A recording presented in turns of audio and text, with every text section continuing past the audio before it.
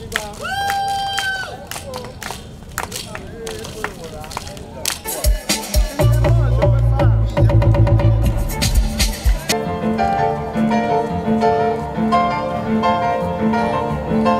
Depuis quelques semaines, c'est l'ambiance qui règne ici à la place de l'Amazon à Cotonou. Ça chante, ça danse au rythme des musiques contemporaines, modernes et traditionnelles du terroir. Chaque soir, de 17h à 20h, l'espace accueille une diversité de prestations artistiques, moments de joie et de détente pour le public.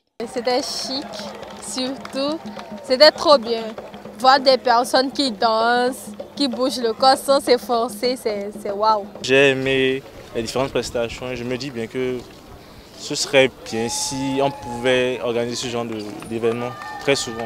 C'est le genre d'événement qu'on a envie de voir chaque vacances parce qu'il n'y en a pas vraiment, il n'y en a pas assez je trouve.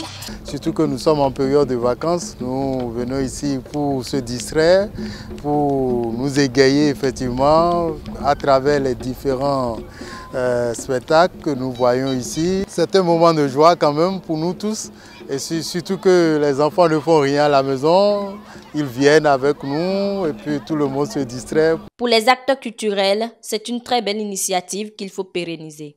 Je crois que ce que nous avons présenté a, vraiment plu au public, puisqu'ils sont restés du début jusqu'à la fin.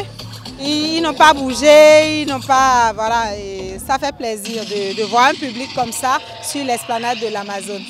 Après l'édition de 2023, l'Agence de développement des arts et de la culture a initié l'édition 2024 pour rassembler la jeunesse béninoise autour d'un loisir sain en cette période de vacances. Le spectacle est totalement libre et gratuit. Chant et danse avec l'Amazon a démarré depuis 8 août et se poursuit jusqu'au 8 septembre 2024. 来이 구, 수.